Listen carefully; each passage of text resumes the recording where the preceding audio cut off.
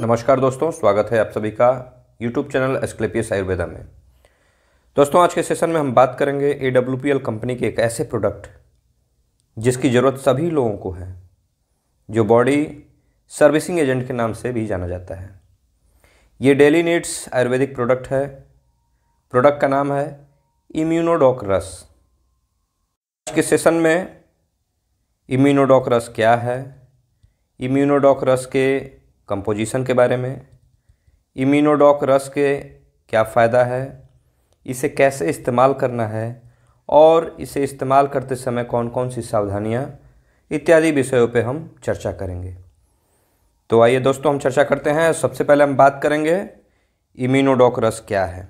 तो दोस्तों, ये एक डेली नीड्स आयुर्वेदा है, जिसे A W P L Asclepius wellness company के द्वारा बनाया गया है। ये हमारी बॉडी को इंटरनली क्लीन करता है और साथ ही बॉडी की सर्विसिंग का भी काम करता है। इसीलिए इसे बॉडी सर्विसिंग एजेंट भी कहते हैं। यदि इसके इंग्रेडिएंट्स की बात करें तो इसमें बालों तथा त्वचा को सही करने के लिए एलोवेरा है, वायु विकार पाचन को सही करने के लिए त्रिफला और जिंजर है, सर्दी, खांसी इत्यादि को ठीक करने के लिए तुलसी और मुलेठी है इम्यूनिटी को बूस्ट करने के लिए एप्पल है पुरानवा है। किसी भी तरह का विकार इत्यादि को सही करने के लिए इसमें अश्वगंधा, गिलो इत्यादि है। इसके अलावा भी इसमें बहुत सारे इंग्रेडिएंट्स हैं। हम सभी इंग्रेडिएंट्स का एक एक करके आपको नाम बता देते हैं। जैसा कि आप स्क्रीन पर देख रहे हो एलोवेरा त्रिफला, कोकुम, तुलसी जिंजर गिलोय, अश्वगंधा, पुनर्नवा, मुलेठी और एप्पल। इन सभी को मिलाकर बना है ए का इम्यूनोडॉकरस। इसके बेनिफिट्स की यदि हम बात करें, इम्यूनोडॉकरस का इस्तेमाल साइनस, अस्थमा, किसी भी प्रकार की एलर्जी, सर्दी, खांसी जुखाम भूख न लगना, इम्यूनिटी को बढ़ाने के लिए इसका इस्तेमाल किया जाता है। यदि इसके इस्तेमाल की तरीक़ों के बारे में बात करें तो 15 से 20 एम खाना खाने के एक घंटा बाद इसको यूज़ करना है।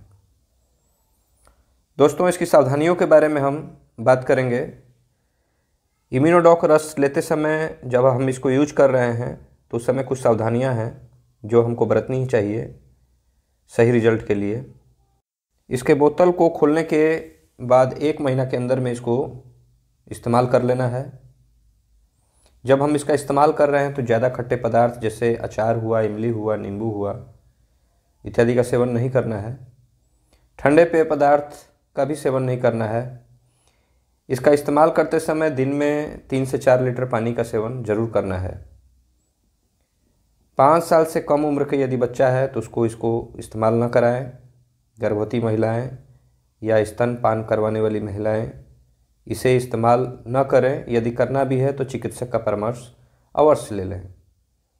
दोस्तों आई होप आपको इम्यूनोडॉक से रिलेटेड जानकारी अच्छी लगी हो।